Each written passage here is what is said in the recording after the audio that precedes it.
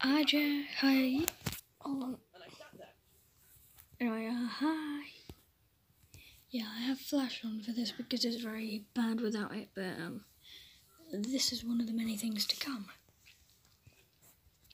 You might think, oh, that's dry Play-Doh.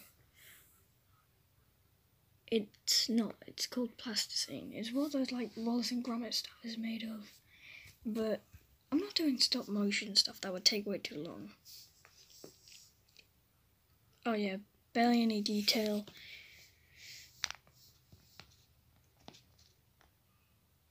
With a few exceptions.